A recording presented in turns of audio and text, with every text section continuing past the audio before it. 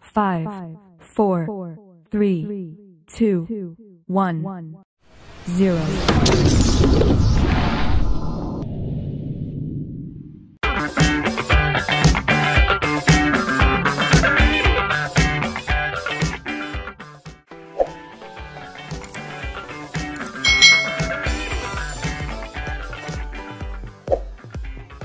Hai hai hai Selamat datang di channel youtube Kak Citra Apa kabar adik-adik semuanya? Kak Citra berharap kalian dalam keadaan yang baik, sehat dan siap untuk belajar ya Hari ini kita akan belajar bersama-sama untuk mata pelajaran tematik kelas 2 di tema 5 Pengalamanku subtema 2 pengalaman di sekolah pembelajaran yang keempat Mari adik-adik yang hebat kita belajar dengan penuh semangat. Adik-adik, Benny mendapat tugas dari sekolah. Benny harus membawa daun kelapa. Benny belum mengetahui kegunaannya. Ibu guru merahasiakannya. Tahukah adik-adik apa kegunaan dari daun kelapa? Nah, ini adalah daun kelapa adik-adik. Apa sih kegunaan dari daun kelapa ini? Salah satu kegunaan dari daun kelapa ini adalah dibuat ketupat adik-adik. Nah ketupat seperti ini ya. Nah untuk membuat ketupat ini ada cara-cara atau langkah-langkahnya seperti ini adik-adik. Kalian bisa mencari tutorial membuat ketupat dari uh, daun kelapa ya adik-adik ya Di youtube ya adik-adik ya. Jadi kalian bisa praktekkan bersama ibu kalian. Mungkin ibu kalian ada yang bisa membuat ketupat dari daun uh, kelapa ini. Adik-adik, di sini Bu Guru berkata, "Pernahkah kamu membuat kerajinan? Kerajinan dari dedaunan. Nah, kali ini kita akan membuat anyaman. Anyaman cangkang ketupat dari daun kelapa. Itu salah satu kegunaan daun kelapa adalah dibuat cangkang ketupat. Nah, ini adalah caranya adik-adik. Dan ini adalah langkah-langkahnya ya. Kalian bisa membaca langkah-langkahnya di sini. Gulung satu sisi janur. Janur itu adalah daun kelapa adik-adik. Sampai tiga kali pada tangan. Ingat posisi pangkal janur menghadap ke atas seperti gambar.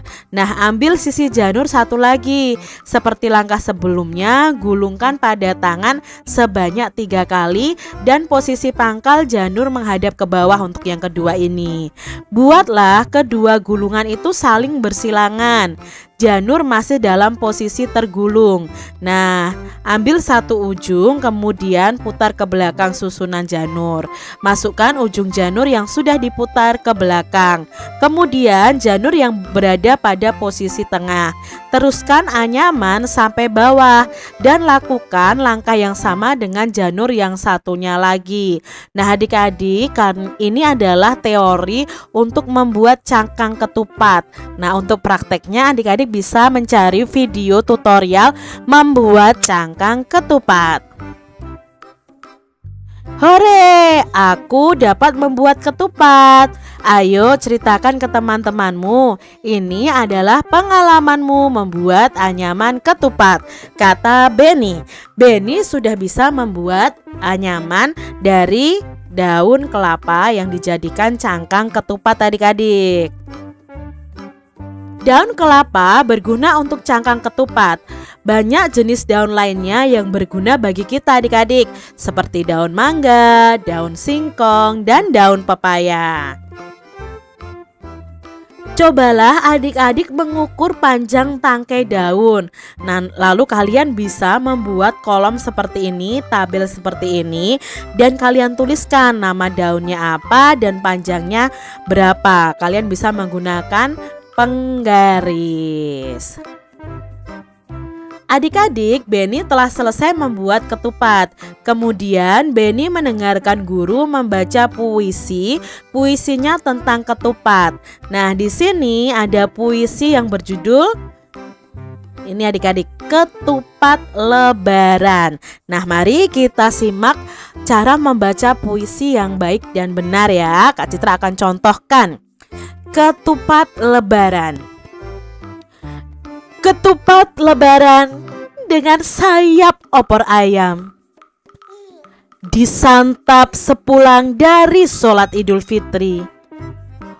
Untuk kakek dan nenek, tetangga, sahabat, senangnya subhana, subhanallah sungguh nikmat. Ketupat lebaran dengan sambal goreng hati tersedia di meja sepulang dari sholat memang sedap dan enak dan gurih. Cobalah ketupat. Alhamdulillah, sungguh nikmat. Nah, itu tadi ketupat lebaran ya, puisi tentang ketupat lebaran. Coba adik-adik baca puisi ini dengan lafal, intonasi dan ekspresi yang baik dan benar. Nah, setiap puisi itu ada kata-kata indah. Nah, setiap kata-kata itu memiliki makna atau arti. Yuk kita pelajari makna atau arti kata-kata yang ada di puisi tadi adik-adik. Kata yang pertama adalah ketupat. Apa itu arti dari kata ketupat adik-adik?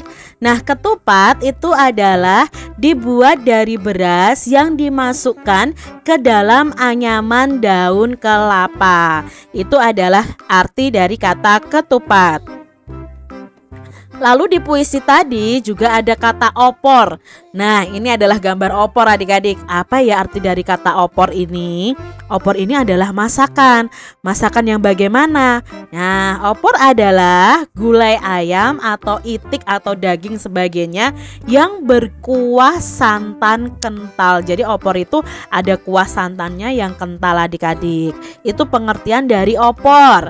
Lalu dalam bacaan tadi ada kata santap. Hmm, santap itu apa ya kalau dari gambar ini ya adik-adik ya? Santap itu artinya adalah memakan dan meminum. Itu adalah arti dari kata santap. Berikutnya ada kata nikmat. Hmm, makanan itu nikmat sekali. Misalnya seperti itu ya adik-adik ya. Apa sih sebenarnya kata nikmat itu artinya? Nikmat itu artinya enak atau lezat. Ada kata gurih. Hmm, ayam goreng itu sangat gurih. Keripik itu sangat gurih. Nah, gurih itu sama artinya dengan enak rasanya. Seperti ikan goreng itu gurih adik-adik ya. Jadi arti kata gurih adalah enak rasanya. Adik-adik, temukan kata yang sesuai dengan maknanya ini. Nah, kita sudah pelajari ya tadi maknanya. Nah, kita akan cari kata-katanya dalam uh, kotak ini. Yang pertama, memakan dan meminum. Tadi art arti dari kata santap ya, sudah ada kata santap. Lalu yang kedua dibuat dari beras yang dimasukkan ke dalam anyaman daun kelapa. Apa tadi adik-adik? Ya, ketupat adik-adik. Yang ketiga, enak rasanya seperti ikan goreng. Ya, kata gurih. Coba adik-adik cari kata gurih. Ya ini ketemu ya adik-adik ada kata gurih Yang keempat gulai ayam atau itik dan sebagainya Yang berkuah santan kental Apa itu? Opor adik-adik Lalu yang kelima enak dan lezat Ya enak dan lezat itu adalah arti dari kata nikmat Adik-adik, puisi adalah suatu karya sastra bahasa Indonesia yang kata-katanya itu indah, padat, dan kias. Nah, kias itu bukan makna sebenarnya adik-adik. Ciri-ciri puisi yaitu tadi menggunakan bahasa yang indah, kias, dan padat.